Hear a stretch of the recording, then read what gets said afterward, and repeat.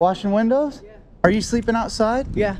Do you need a tent or sleeping bag or Oh. anything? Let me grab it. Do you want some hot hands? Yeah. Holy shit. I also got a backpack for you, dude. All right. You did me breakfast, bro. If there was anything I could get for you, I would totally do it, bro. phone? I could do that. Wow. I'll wait right here. Overwhelmed. I can't even think, man. The Moto G Play case over there. 99 cents. There's guys that do things similar to me, and they don't do it the same way, and their videos do way better in terms of views. However, as long as I can keep getting donations and keep helping people and have enough money to do the things that I do, I'm happy. I'm good. With that being said, last week was actually one of my lowest weeks I've ever had with donations since I started. I just try to keep doing what I do, and I know that it will all work out. I left this on, right? Because who doesn't like peeling that plastic on a brand new electronic device? Man, bless, dude. Thank you, Nate. Of course, of course, Man, Thank you so much, bro. of course. I always offer everyone a hug or a handshake, man. All right, man. Give us both.